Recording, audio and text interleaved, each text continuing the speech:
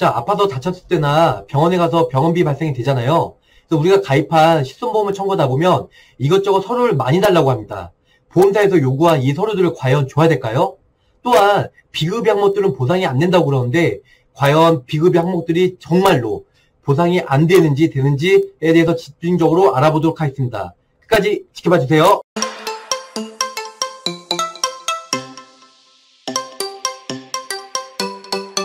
안녕하세요. 프라메스의 안태수 보험장입니다. 자, 예전에는 실손보험을 청구하다 보면 통원비나 입원 시에 병원비가 깔끔하게 보상이 다 됐습니다.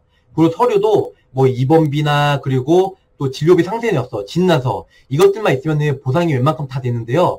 요즘에는 툭하면은 진료비 세부내역서를 첨부하라고 해서 거기서 주사제나 아니면은 엑스레이, CT 또한 뭐 영양제를 이걸 왜 맞아야 되는지 꼼꼼히 따져서 보상에서 제외된 경우가 많이 있습니다. 근데 예전에 제가 좀 전에 말씀드렸다시피 병원비를 청구하면 뭐 하루 이틀 만에 100% 가입자나 아니면 90% 가입자, 80% 가입자 혹은 통원비 30만 원 한도 내나 아니면은 통원비 25만 원, 약값 5만 원 이렇게 해서 그 시기마다 보장량이 달랐는데요. 그런데 병원비가 깔끔하게 다 지급이 됐습니다. 근데 요즘에 병원비를 청구하다 보면 진료비 세부 내역서는 무조건 있어야 되고요. 그리고 이것저것 서류를 많이 요청하는데요. 이런 요청하는 이유는 제가 생각하기에는 보험사의 꼼수인 것 같습니다. 이것저것 서류를 띈 다음에 과연 이 지금 진료받은 항목에 그 입원이나 수술을 항목에 대해서 과연 이 의료행위가 적합했는지 안 적합했는지 이걸 따서 보상에서 제외된다는 거죠. 그런데 환자인 당사자는 솔직히 의사나 아니면 의료진이 하라는 대로 시킨 대로 하잖아요. 예를 들어서 뭐 가슴에 혹이 있거나 뭐 머리가 아프면은 MRI 찍게 되고 CT를 찍게 되고 여러 가지 행위를 하게 되는데 당연히 그러면 저희는 어떤 개인 부담을 떠나서 이제 검진을 받기 위해서 그런 의료 행위를 하는데 보험사에서는 왜 영양제를 맞았으며 왜 주사를 왜 맞았고 그리고 불필요하게 MRI나 MRA 혹은 CT를 왜 찍었냐 이런 부분들을 저희한테 왜 찍었는지에 대해서 꼼꼼히 따지고 납니다. 근데 저희는 의사도 아닌데 저희가 그걸 어떻게 하나요?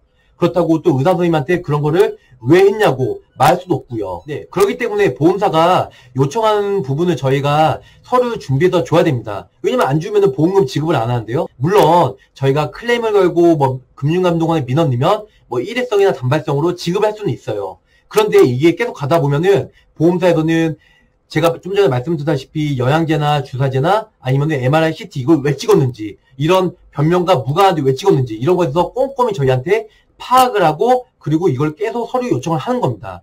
근데 제가 말씀드렸다시피 예전에는 이런 거 그냥 병원비나 아니면 입원했을 때 예를 들어 병원비가 100만 원 나왔다. 그럼 100% 가입자는 당연히 100만 원만 지급이 되고요. 그리고 뭐 90% 가입자는 100만 원에서 10만 원 본인 부담 제하고 90만 원 지급되고 이렇게 해서 하는데 요즘에 워낙 이런 게 까다롭다 보니까 저희가 서류들이 많다 많다 할지라도 보험사에서 원하는 대로 지급을 해줘야 된다는 거죠.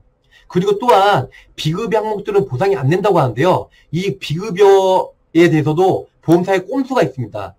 약관에 보시면은 건강보험이나 아니면 의료보험 적용이 안 될 시에는 의사 소견서를 첨부해서 아니면 치료 목적이었을 때는 40%를 지급하게 되어 있습니다. 근데 이 40%는 외국인 노동자들이 건강보험이 없거나 아니면은 우리가 흔히 얘기하는 건강보험공단에 있는 그런 항목들이 포함이 안 되면 40%만 지급이 되는 거죠. 물론 의사 소견서가 있으면요. 없으면 아예 보상이 안 됩니다. 그런데 의료보험 적용이 됐거나 건강보험 적용이 되는 급여와 비급여가 있는데요. 급여 부분은 당연히 급여랑 비급여 부분은 당연히 보상이 돼야 되는데 보험사에서는 비급여 부분은 보상이 안 된다고 그래요. 근데 보험사에서 얘기하는 이 비급여 부분과 그리고 우리가 얘기하는 건강보험 적용이 안 되는 이 비급여 부분은 서로 틀리다는 거죠. 그렇기 때문에 건강보험 적용된 혹은 의료보험 적용된 이 비급여 부분은 100% 혹은 90% 80% 보상을 받으셔야 된다는 거죠. 이거 안 되면 바로 그 민원 넣으세요. 이거는 100% 보상이 됩니다. 흔히 얘기하는 뭐 로봇 수술이나 아니면은 뭐 조혈모 세포 이식 여러 가지 요즘에 그런 이렇게 건강보험공단에서 항목들이 포함이 안 되는 항목들은 당연히 보상이 안 되죠. 그거는 고가의 의료기술이고 워낙 값비싸기 때문에 뭐 흉터도 적고 치료 기간이 짧기 때문에 뭐 돈 많으신 분 이렇게 의료 비용을 많이 지불할다 할지라도 건강보험 적용 안 받고 본인 환자 부담금을 100% 납입을 해서라도 그런 뭐 800만 원, 1000만 원 돈의 그런 의료 행위를 하고 납니다. 그런데 일반 서민들은 그런 부분을 못 한다는 거죠. 그렇기 때문에 저희가 실비보험 적용을 받으려면 의료보험이나 건강보험 적용받고 그 영수증에 보시면은 의료보험 적용 뭐 진찰료 있잖아요. 거기만 포함이 되면 그 밑에 비급여든 급여든 이런 부분들이 다 보상이 된다는 거죠. 이해하셨죠? 예, 결론적으로 말씀드리면 급여든 비급여든 보상이 모두 다 돼야 되는 거고요.